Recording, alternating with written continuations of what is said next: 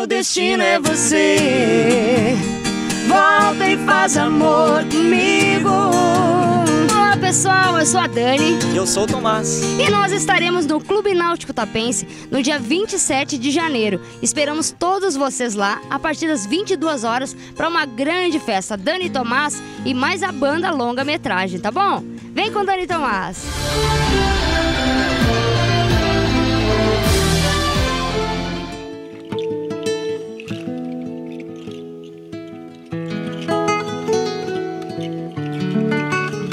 Nós estamos saindo aqui do Clube Náutico Tapense agora, na escuna Chuchuca. E vocês vão acompanhar aqui pela Lagoa TV uma série de reportagens sobre esse passeio de barco aqui em Tapes, aproveitando essa maravilha que é a Lagoa dos Patos. Ir a lançar as redes cada vez mais lá, sumir nas águas cada vez mais lá.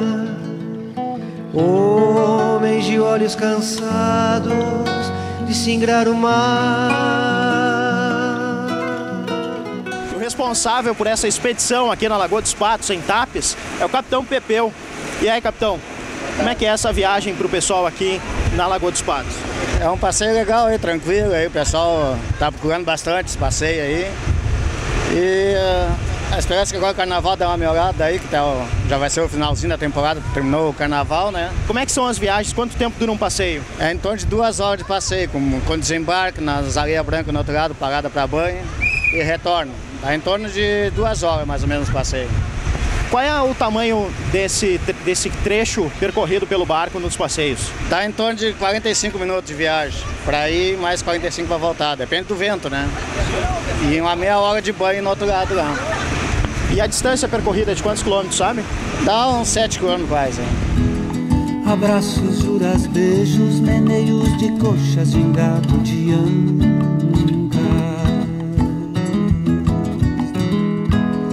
A dança recua, avança, balança em noite de lua e estrela.